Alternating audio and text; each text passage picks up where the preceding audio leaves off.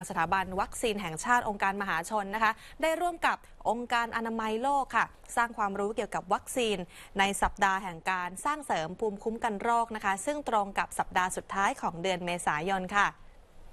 โดยกิจกรรมการสร้างเสริมภูมิภูมิคุ้มกันโรคในปีนี้นะคะ จัดขึ้นภายใต้แนวคิด ทุกภาคส่วนร่วมใจหยุดโรคภัยด้วยวัคซีน โดยหวังว่าให้คนไทยเนี่ยได้รับวัคซีนป้องกันโรค ที่ครอบคลุมอาการเจ็บป่วย โดยเฉพาะในเด็กก่อนวัยเรียน แล้วก็เด็กในวัยเรียนค่ะ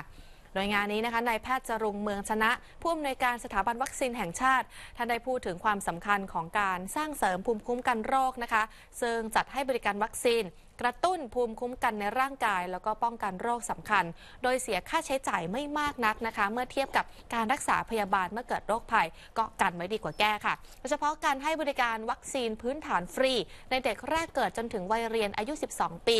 มี 11 โรคด้วยกันนะคะ อย่างเช่น วัคซีนป้องกันโรค BCG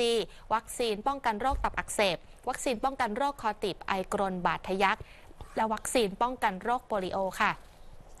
รวมไปถึงความสำคัญในการสร้างเสริมภูมิคุ้มกัน และกระตุ้นภูมิคุ้มกันซ้ำในกลุ่มหญิงตั้งครรภ์กลุ่มนักเรียนและเด็กวัยรุ่น กลุ่มผู้ใหญ่และกลุ่มเสี่ยงด้วยค่ะ ทั้งนี้นะคะจากการสำรวจภาพรวมความครอบคลุมในการได้รับวัคซีนทุกชนิดก็พบว่า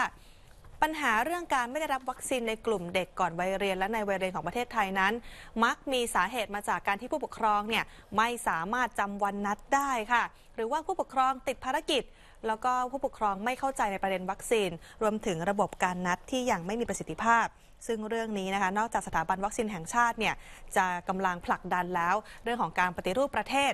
ด้านสาธารณสุขก็กำลังพัฒนาในเรื่องของการใช้เทคโนโลยีอืมครับมาใช้ เพื่อให้ระบบการนัดหมายนั้น เป็นไปอย่างมีประสิทธิภาพรวดเร็วทำให้คนไทยเนี่ยไม่ต้องเสียสุขภาพนะครับต้องมารักษาทีหลังให้ป้องกันไว้ก่อนด้วยค่ะ